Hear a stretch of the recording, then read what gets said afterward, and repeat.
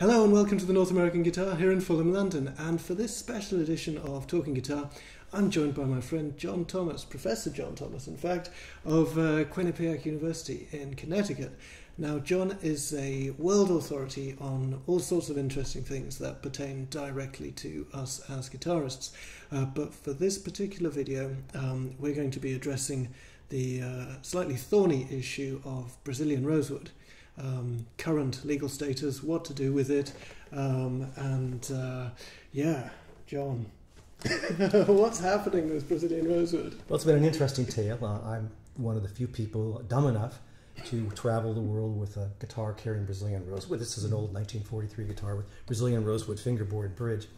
And also, I have a law degree and teach law. So, um, as I was wandering the planet, giving talks, playing gigs on occasion, I started to occur to me that maybe I ought to know what the law would be on the substance that I was traveling around with. And so I began probably about a decade ago investigating, speaking on, and writing about the Convention on International Trade in Endangered Species and its impact on musical instruments in general and in particular on guitars. Yes, indeed. So that's CITES for the uninitiated. Right. Yeah.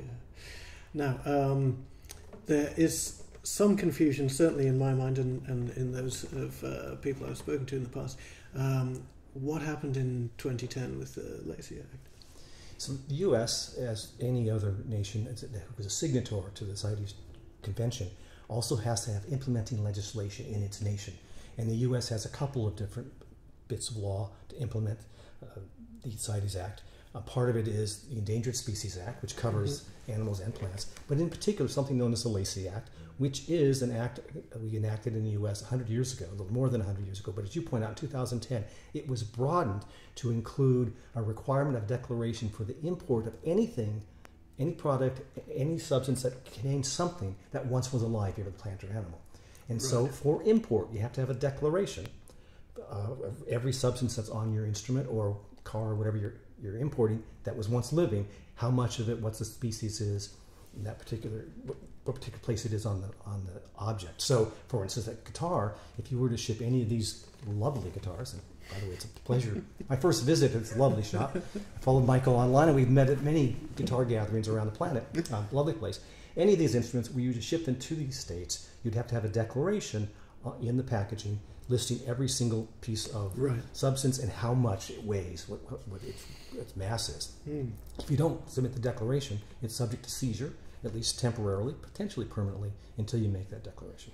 And we've heard some horror stories about seizure, um, particularly uh, when you gave a talk uh, at the Healdsburg show, I think it was 2011.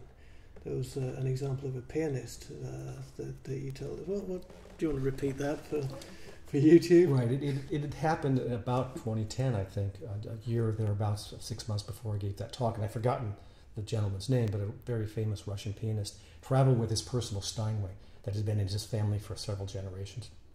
And he would disassemble it, the legs and such, ship it over, reassemble it. And it, it landed in New York City at either the JFK or the LaGuardia Airport, I can't recall which. And our Homeland Security, our euphemism for the people who guard our borders since 9 11, um, thought it looked suspicious. It smelled strange. So they took it out on the tarmac and blew it up. Right. And there was nothing resembling a CITES substance on that piano at that time, but he had recently reglued parts of it, so they thought it smelled strange. Okay, so um, and this is quite alarming, isn't it? it's alarming, and I published, uh, I think we call it the Guitar Lover's Guide to the Convention on International Trade, Trade in International Trade in Endangered Species CITES for Fretboard Journal. I think it's 2009, mm. and some people found it alarmist because I was a person who would say this is what the law provides. It's rarely, if ever, enforced at this point in time, but you ought to know that if it is enforced, you could lose your instrument. And there were a number of guitarists and other musicians around the planet who were rather unhappy that I was willing to tell people what the law was. I wasn't making recommendations. I just said, this is the law, these are the forms. I pro- we provided links online to forms, but people were very alarmed because largely ignorance may not have been bliss, but it was probably the next best thing. People travel with instruments The convention was rarely enforced, but then enforcement started. Hmm. Instruments started disappearing, sometimes permanently. The CITES provides for permanent seizure, uh, and that has certainly happened on occasion. I have talked to the people in the U.S. who are charged with housing the substances seized uh, when they're shipped into the U.S. And they've got a giant warehouse in Colorado, sort of the middle or the western part of the states, and have many musical instruments. They couldn't tell me how many, many musical instruments, most of which were seized for Brazilian rosewood, but the other potentially offensive substances are ivory, Elephant ivory, yes. elephant ivory, and in particular African elephant ivory, and also uh, sea, sea, um, hawksbill sea turtle shell. Yes. We call it tortoise, but it's hawksbill Exactly, sea turtle shell, which was used originally in pick guards and uh, a little bit of ornamentation on a few instruments. Wow. Okay. So, um, as a guitar dealer here in the UK, um, I have had uh, some fairly worrying and worried uh, contacts with, with clients of mine who have invested uh, money in Brazilian rosewood instruments. And obviously, these guitars sound wonderful, play beautifully in the main, and they are the sort of guitars that you know any one of us would be absolutely proud to own. And yet, they are now being told that they might be in uh, in possession of an illegal instrument. Um, that uh, that the market has shrunk exponentially uh, due to the fact that export is, is now such a, a pain. Uh, what can we do to reassure people like that? Let me break it down into two categories. One would be people, musicians carrying their instruments, and Mhm. second would be people, dealers like yourself or Okay, individuals perfect. who want to sell instruments. So there were problems for a while with in- music- musicians traveling with instruments containing Brazilian rosewood in particular, but those other two substances we mentioned. But about a year ago, the US and the EU implemented what is known as a musical instrument certificate or passport. And I actually have one right Oh, here. you go, one there. Um, this is the very first one issued from the states. I got it from U.S. Uh, Fish and Wildlife. It's an agency in the U.S. charged with enforcing CITES. You have a similar agency Mhm. in the EU. The EU has a very similar uh, passport. It's precisely the same form.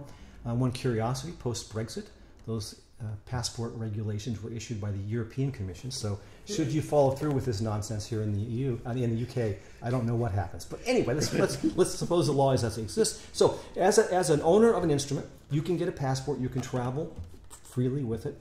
Um, there are 186 or so countries who are members of the CITES Treaty. All of them recognize the passport every country is entitled to have its own version of the form, but you fill out the form, you can travel with it. Now, you can travel with it if you can demonstrate that your guitar is pre CITES. Mm-hmm. Brazilian was listed on the CITES Treaty, most uh, restrictive provision, Appendix 1, it's Appendix called, one, yeah. in 1992. Mhm. So you need to demonstrate that your instrument is pre 1992. And if you can do that, then you can get a, do that to demonstrate to the uh, satisfaction of your authorities, you can travel with your instrument. It's relatively easy. Early on, it was difficult. Um, if you have a Martin guitar, for instance, it's very easy based on serial numbers. If the serial number on the online database shows that it was made before 1992, you're golden. Um, this is an old Gibson. Uh, it has no markings on it whatsoever, but I was able to obtain through the officials uh, a passport just by a demonstration on articulation of its age, of the characteristics that make it of that age, and then a description including a photograph. Mm. If you have a modern guitar, you're going to need documentation from the luthier who built it for you or the dealer who sold it to you. Typically, that would be original documentation coming from Brazil, but usually U.S. authorities are willing to accept other forms of documentation, including things like affidavits or sworn statements from the luthiers that they bought the stuff before 1992. Before the material was listed on CITES, nobody got documentation because it wasn't legally needed. Mm, yeah. So we have luthiers all over the U.S., all over the EU, all over the world who have some legal wood that was harvested before 1992, but they didn't get documentation because they didn't need it. So the authorities in most jurisdictions, most countries now, are accepting a description and a sworn statement from the builders or the sellers of the age of the wood. So you're good. Um, if you can prove that, and you can prove it either through serial numbers or other markings or through documentation from the builder or seller, it's relatively easy to get a passport. It expires after three years. You get it stamped as you go through uh, customs and that sort of thing, but it works fine. Mhm. So that's one. If you want to sell an instrument over the borders, it, it much more difficult. Let me talk first about selling it from here to the U.S., and then I'll talk Yes. the other way around from the U.S. to EU. And other countries are um, have sort of the variations on the theme, but the U.S. and EU are two models, and other countries you'll in Asia and other places you'll find if they enforce the treaty, follow one of these two models. So the U.S. you can import the instrument or export the instrument if it's pre-CITES. It has to be pre-CITES. the, the, the substance itself. It must have been harvested from the wild before 1992. It doesn't have to be made into a guitar before 1992. 1992. It has to be harvested, and then you can ship it and you sell it. Um, if it has not been harvested, if you cannot prove that, you can't export it or import it. Done. Right. Okay. Now the EU is much more restrictive. So that's from here to you, if you get a guitar here, you want to sell it through Michael, best dealer in the world. Um, Michael can get the documentation. He's, he actually knows a lawyer who would help him with this stuff, One or two. Yeah. and you can sell it to the US.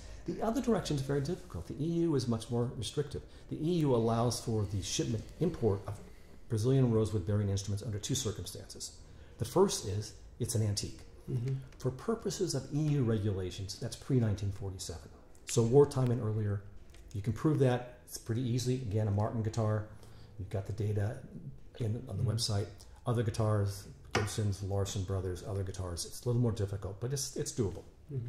So, first is you can import an antique pre 1947. The second is you can re- essentially repatriate a Brazilian rosewood instrument. That is, if the instrument was made in the EU, you can bring it back in. Okay. So there are some steel string guitars made in the EU. Obviously, you've got a few of them here. Um, not with Brazilian rosewood, I think, but with Brazilian rosewood, and of course, lots of classical guitars. So again, there's Mhm. the only two circumstances: repatriate was, was built in the first place, and you can prove that, or you're uh, shipping in an antique. Okay. Those are to sell for commercial purposes. And again, you can travel with your guitar if you have a passport. So dealers into the U.S. Uh, pre 1992, into dealers into EU pre 1947, or repatriation. Per- personal musicians traveling with their own instruments pre CITES 1992, and a passport. Wow. Okay, so what advice would you have uh, for people who are planning to travel internationally with a, a let's say, a modern luthier built guitar? So if you have a modern luthier built guitar, it's really unlikely that you'll have any of the banned substances or restricted substances. It's possible you'd have ivory, unlikely to have ivory. Mhm. It's possible you'd have tortoise shell, hawksbill, sea turtle shell. It's possible you'd have Brazilian rosewood. Let's imagine you not, don't have those, but you have a nice, beautiful guitar. Um, you've got some lovely cocobolo and um, uh, ebony and other kinds of guitars that look, to my eye, and I've seen a lot of guitars, they look indistinguishable from Brazilian rosewood. So I think it's important if you're traveling with your guitar to have a list of the substances in your guitar in your Mhm. case. Yeah. Have a list in your case of what your guitar c- contains. Best to get it from the builder or the dealer, signed, contact information. Very, very rarely, one in a million, maybe, maybe a little more than that. Very few times have I ever encountered anybody stopped with an instrument. I've never been stopped. I've traveled internationally a lot, but on occasion it happens. So just have a description. The substances that are on it, you can show that you have contact information. If the customs officials become worried, they can contact the luthier or the dealer, and oh no, that's that's uh, you know, modern mahogany, it's Cuban mahogany or whatever it is, not. Brazilian rosewood.